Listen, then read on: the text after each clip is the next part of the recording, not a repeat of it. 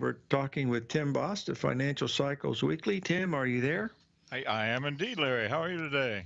I am good, my friend, when I posted up your first chart here today, I noticed in the upper left-hand corner it said uh, Fibonacci Galactic Trader, and uh, we know you, you and I both know that we lost Jeannie Long, you know, on Monday. You know, uh, right, she was the right. the start of that, and uh, I really I have one great memory of uh, Jeannie Long, and that was oh my 25 years ago.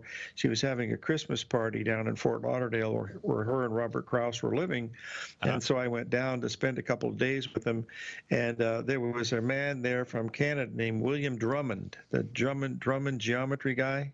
Right, right. And and and he was there. And Tim, I've met some really interesting people in this business, but boy, let me tell you, he was off the charts. I had never met anybody with that much confidence and overextension of what his abilities were in my whole life if you know what i'm trying to say. I mean he said he said things that couldn't possibly be true. I mean like the quantity of things he was trading 10,000 treasury bonds at a time you know. Okay. I mean I, I just i just shut up and let him talk because i knew that i was going to get in trouble if i did anything other than that. And uh any, anyway i shared I, I shared it with jeannie afterwards and she said yes she said i saw you over there smiling anyway, uh, do, do you have any uh, interesting stories of uh, Jeannie that you'd like to share with us? I mean, that's putting you on the spot a little bit. But oh, well, yeah, we we had I, many many lovely encounters, and uh, in fact, uh, I, I, guess it was about uh, seven eight years ago. I, I, had a chance to sit down with her and talk about uh, how she got started uh, uh, with uh, astrological studies and and with market studies, uh, and it was a very fascinating tale. But I first encountered Jeannie back in the in the mid '80s when I attended a, a conference Uh, and uh, connected with one of my mentors, Olivia Barclay uh, from England. I had studied horary astrology and medieval techniques with her, and we had gotten together at this conference in uh, Connecticut. And uh, it, it, as is the case with many affairs like that, there are multiple speakers going on. And I said, Olivia, who, who are you going to go hear next? And she said, Oh, I'm definitely going to go hear Jeannie Long. She's a fellow Brit and people pay her thousands of pounds for her advice on the markets using astrology. And I said, Well, I got to hear this. and so Olivia and I sat together and listened to Jeannie talk about uh, trading gold uh, with astro analysis. And uh, that was r- really an event that opened my eyes to the potential uh, in this whole field. Wow. Yeah. Yeah. She was not only was she beautiful, she was a really a beautiful human being. She was just very, Indeed. very Real Always kind class. and generous and, and, and, and very, very gracious uh, on all occasions. Yeah. Yeah. What What are you seeing in this S and P chart with the Pluto resistance and the Mars trend and all these galactic lines? You want to explain to the folks what you're looking at here? Uh, what we're looking at here, uh, and and these are, are planetary price line projections with uh, of the software that uh, Jeannie and uh, uh, Robert Krausz developed some years back, called the Fibonacci Trader Galactic Trader. the Galactic Trader component adds the ability to put in planetary factors on a chart, which is something that I rely on a great deal. the more or less diagonal red lines are uh, the increments of the movement of Mars. And what we can see is that uh, the S&P has been tracking along Mars channels pretty nicely here over the last few months uh, and is continuing to do so. What we're looking at are the horizontal lines on the chart, which uh, represent the positions of Pluto. And uh, we have seen some significant support back in uh, uh, uh, early October on that Pluto line. and we're seeing that then defining a horizontal trading channel between a potential Pluto resistance. We're projecting a little bit into the future future there uh, with a, a, potential on that Pluto line of hitting uh, 32, 2350 and uh, support and the, and the increment below that at uh, uh, three, uh, 30, 7350. so that's that's kind of the, the trading range that we're looking at right now. We are anticipating a potential trading top coming in here fairly shortly, and so that's why we're looking at these planetary price lines to determine potential levels of astrological resistance along the way. Wow. This sure is interesting. I, I notice there's a lot of gaps on this chart. Is that the uh, that's just because you're looking at the S&P cash? Is that correct? That's right. S&P cash uh, on, on uh, Okay. these are daily price bars, and so we, we get some, uh, you know, uh, uh, rather than uh, tracking the, the contract, which is a more continuous flow. Okay. Now, is there any any particular significance to the top blue line there where it says Pluto resistance? Because I saw Pluto support hit it spot on. I just wondered if that was uh, Right. We have not tested that resistance zone yet, but that's the next. Uh, these are our 24th harmonic planetary projections, uh, and so uh, that would be the next uh, logical level for Pluto to start factoring in in a significant way. And we, as I say, we have not uh, hit resistance there yet, so we may get to test that. It may back off before it gets that far, in which case we'd start looking at uh, at other planetary configurations to get confirmation there. Okay, do you use any other any other tools like uh, any t- t- uh, typical technical analysis in your uh, in your approach? Oh, absolutely, You know, yeah. You, you've done. You, We, we, we combine a lot of, of uh, tools, uh, some some Gann techniques. Uh, uh, uh, take a look at Elliott wave counts, uh, uh, and Mhm. of course Fibonacci projections and uh, retracements as well. Uh, and, uh, and, and in addition to that, when it comes to trade setups, uh, you know we're looking at very very simple indicators like moving average crossovers and so forth. very good. Now, when you when you when you do your because you've done very well for the, um, uh, the the timer digest. You've been in that rankings quite a bit. Uh, Mhm. When you when you do a technical analysis, what comes first, Tim? The astrology or the technical analysis? That's one of the questions someone's asking us. Well, that's a great, great question. And actually, uh, because we have an astrological bias, uh, well, first of all, when, when we're, we're, we're tra- trading primarily individual equities here. Uh, so, and in doing so, we're concerned with stock selection, and we use an astrological filter first uh, to simply narrow the, the playing field a bit.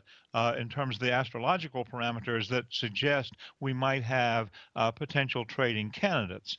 Uh, once Mhm. we've done that, we've got uh, on a week-to-week basis a, a universe of about 75 to 100 particular uh, stocks that we're looking at, uh, and then we go back and look at the technicals. And we also do a quick fundamental scan. We like to have uh, uh, stocks uh, that have companies behind them that are actually in business, and so uh, we have a Mhm. little bit of a fundamental bias there as well. And we want to look and see are there earnings reports or other events of that sort coming up, you know, from that fundamental dynamic. So we're really combining technicals, fundamentals with the astro analysis. We begin with the astrology. We look at the others uh, factors then to filter things out, and then based on that, if, if a particular uh, uh, equity looks uh, uh, uh, fundamentally sound and it looks uh, like good timing from a technical standpoint, we go back and then do another astrological pass uh, to refine our tools in terms of uh, the precise timing and price points and so on.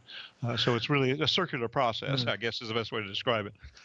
That makes good sense. One other question someone's asking is, do you use the date of origination of the corporation as part of your analysis? Uh, we use uh, the yeah rather than the incorporation date per se, we use what we call the first trade date, uh, and uh, this is the the uh, date that the stock was first publicly traded. That's a significant time. Wow. Very good. All right, well, stay with us, Tim, and we'll look at the second chart that you've got Okay. for us. We've got Tim Bost on the line at Financial Cycles Weekly. We'll be right back with Tim Bost. Tim, do you want to tell us what you're looking at on the uh, second uh, right. chart uh, that we have here? This is a chart of our uh, current astro cycle projections, and we uh, rework this chart oh about once a month, every six weeks, something like that, uh, to try to get a feel for uh, what the cycle analysis says about uh, upcoming probabilities for the markets, and then we coordinate that with the astrological dynamics uh, that are coming up. Uh, the black line here is simply the S&P based on uh, closing prices and a, a line chart. Uh, the red line on the chart is our cycle uh, It's, this is a composite cycle uh, based on uh, 28 of the the uh, of the top cycles we've been able to identify so far with the S&P. Uh, and so uh, what we've seen here is pretty good correspondence. We did get a divergence uh, uh, between the actual price movement and the cycles uh, uh, back around uh, the first few days of, of December here, and uh, we've got some Mhm. unanticipated bullishness going on. But what we're looking at is point A on the chart coming up uh, this weekend on the 21st. That'll be this Saturday. We have uh, the solstice coming up. It's the winter Mhm. solstice in the northern hemisphere, the summer solstice in the southern hemisphere. A very important uh, date uh, there, and uh, uh, we're anticipating a, a, trading top coming in uh, in connection with that, which means we could see mm. it a top hitting as early as tomorrow mm. on Friday the 20th, or uh, waiting until uh, Monday the, the 23rd, uh, and still correspond uh, pretty mm. closely with that timing date from the astrological perspective.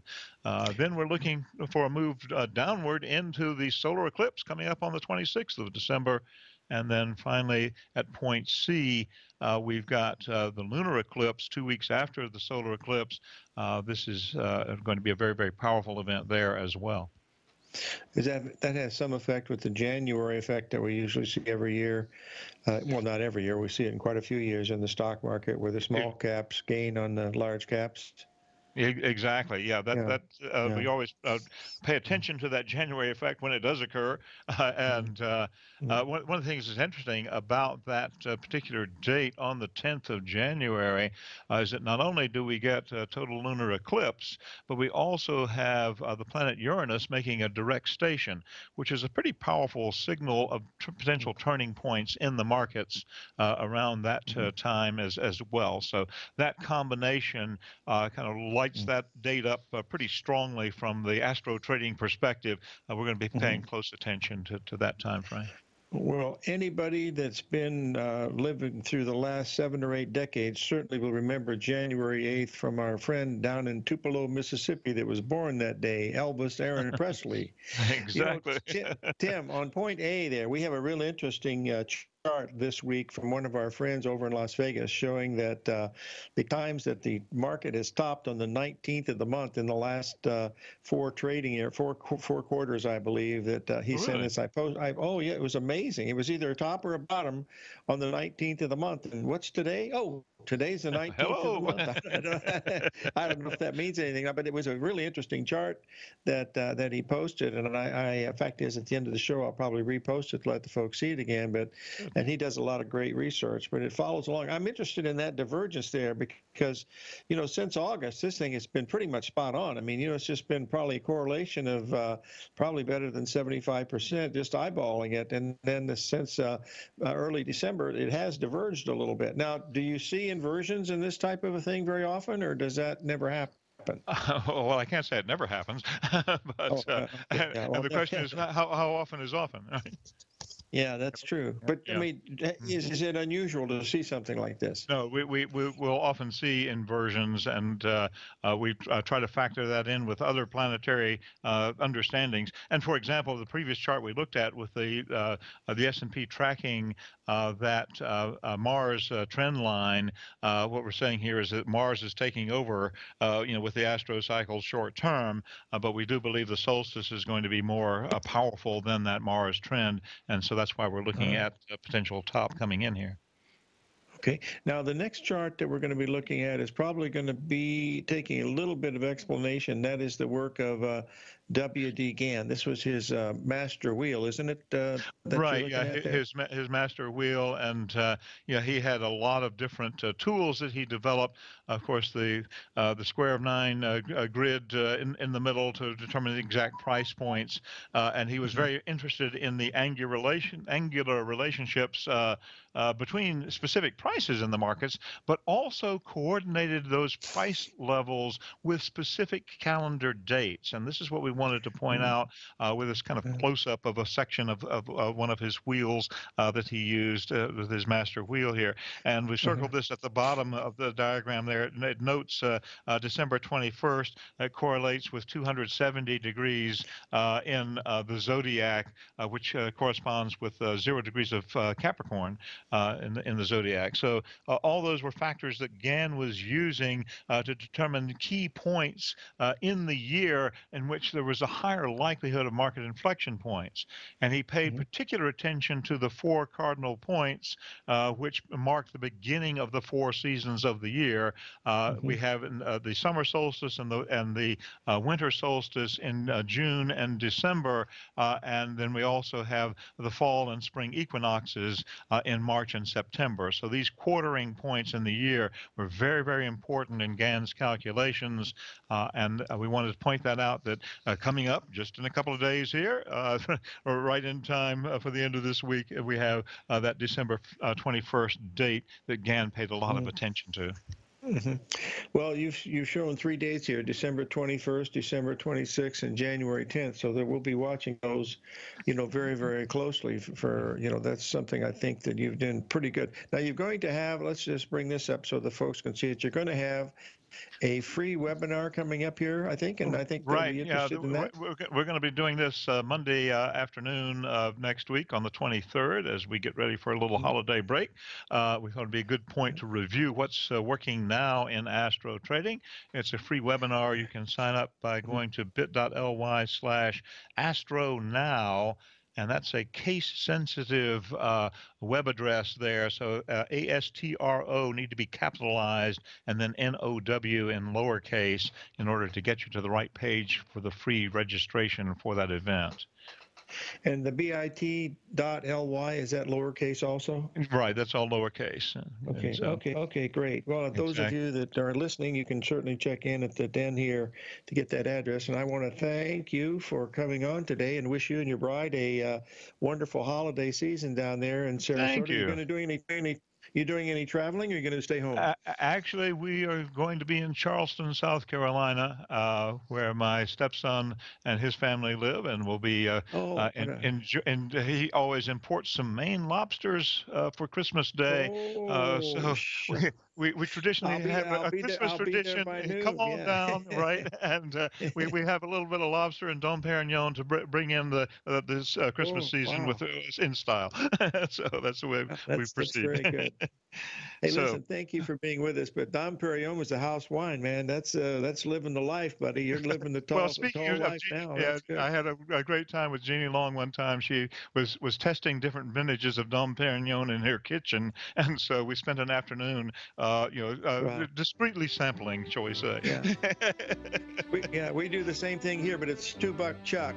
All right, a great holiday, Larry. Great yeah, to talk to you. Happy holidays to you. We'll be right back, folks. 877 927 6648.